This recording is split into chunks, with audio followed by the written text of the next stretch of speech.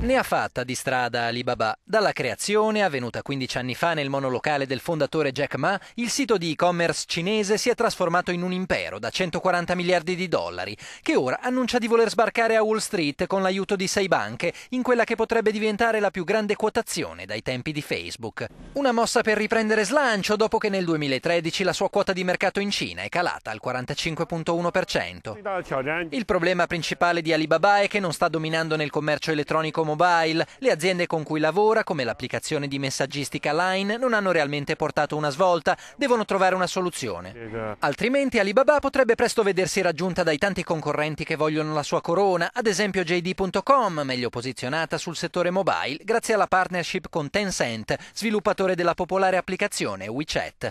A questo si aggiunge la fuga dalla sua piattaforma elettronica di molti marchi famosi che hanno scelto di aprire dei negozi di e-commerce per conto loro.